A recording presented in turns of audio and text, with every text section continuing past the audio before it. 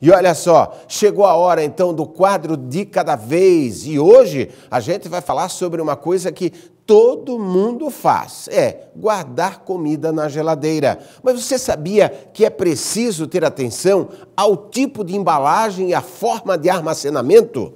Tudo isso garante que o alimento mantenha seus nutrientes e vitaminas e ainda possa ficar mais tempo na geladeira.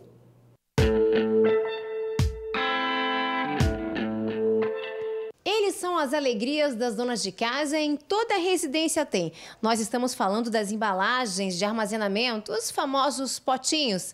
Nós estamos aqui na casa da Dona Maria, no bairro Cordeiros, e na cozinha dela a gente encontrou muitos, né, Dona Maria? Cerca de 30 a senhora tem? Tem para mais. E a senhora usa para guardar todo tipo de, de, de, alimento? O que, que a senhora faz com ele? Não é só para guardar alimento, não, né? Não, não uso para guardar alimento só de um dia para o outro. Dona Maria guarda os alimentos embalados nos potinhos dentro da geladeira por no máximo 24 horas, como o arroz.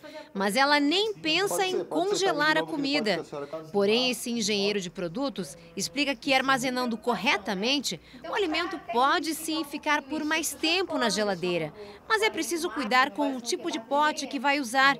Os de plástico e vidros têm a mesma funcionalidade, mas as embalagens plásticas ainda são as melhores. A preferência para é, congeladores e geladeiras são potes quadrados e retangulares, porque você acaba ocupando um espaço menor.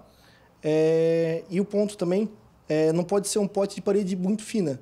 Um pote de parede fina ele vai acabar trincando devido à baixa temperatura tal e também um pote tem que ter um, um excelente fechamento. A vedação é bem importante. É bem importante. É um ponto bem, bem importante, até mesmo para o usual, né, sentir que o pote está tá fechando com a tampa. Conforme o engenheiro, a maioria dos alimentos pode ser congelada, independente se estiver cru ou já tiver sido preparada. Se forem armazenados em potes com boa vedação, alguns alimentos podem ficar guardados por meses, como as carnes, por exemplo.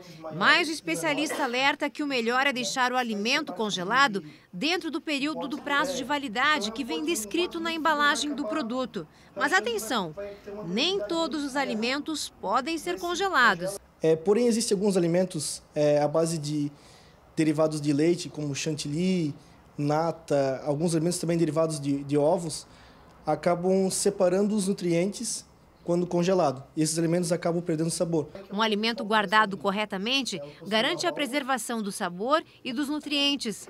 A dona Maria ouviu atenta as orientações do especialista, mas não mudou de ideia sobre congelar a comida. Agora, dona Maria, a senhora gostou dessas dicas? Gostei. Só que congelar, não. Ah, o Carlos ainda não conseguiu fazer a senhora mudar de ideia aí para deixar os alimentos um pouquinho mais na geladeira. Congelar de jeito nenhum. Congelar de jeito nenhum. A senhora fica preocupada mesmo de que possa vir a fazer mal para algum familiar seu? Sim, sim, sim. Não tem nada que me faça mudar.